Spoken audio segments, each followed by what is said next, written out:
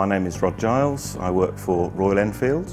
I'm the uh, head of CAE and CAD and uh, Royal Enfield is a well-established uh, motorcycle company which I'm sure is familiar in India but perhaps not so familiar outside of India. The company was started making motorcycles in 1901 and is the longest continuously in production motorcycle manufacturer in the world. Early 1990s it was taken over by the Eicher Group and uh, since the uh, current CEO of uh, Eicher Group, Siddhartha Lal, has uh, been in charge of Royal Enfield, the company has grown uh, tremendously. We have grown from approximately 50,000 motorcycles per annum five years ago to now over 800,000 motorcycles.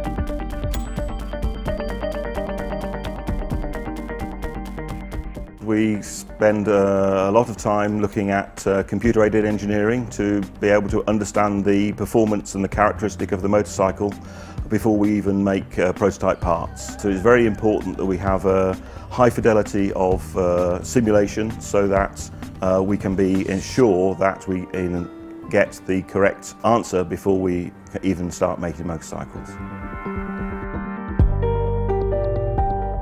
We started using uh, Abaqus in uh, 2013 uh, and we've continuously increased our investment in uh, Simulia products uh, since then. We have used iSight, Tosca and more recently uh, Simpac to enable us to do more and more detailed and complex simulations, uh, both in uh, powertrain and uh, chassis aspects of the motorcycle. The most unique about the Dassault Systèmes is actually their support. Most of the time, we get expertise answers in the support queries so that whenever we get a problem, we can go into in-depth of the solutions when we provide to the designers.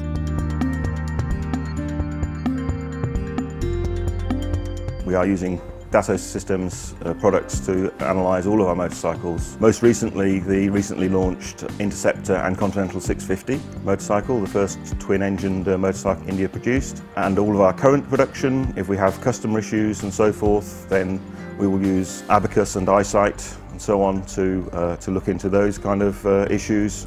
And more recently, we are developing uh, genuine motorcycle accessories which are fully validated using our uh, existing uh, procedures to validate all new products.